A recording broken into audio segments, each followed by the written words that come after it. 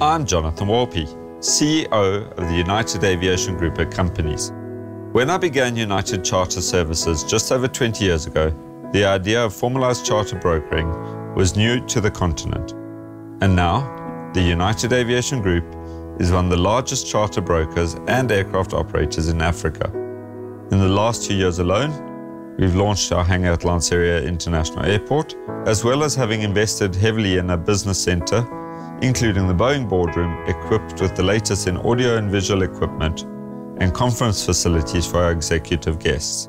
An investment into the future of the United Aviation Group that we know will translate into a better service and services for you, our customer.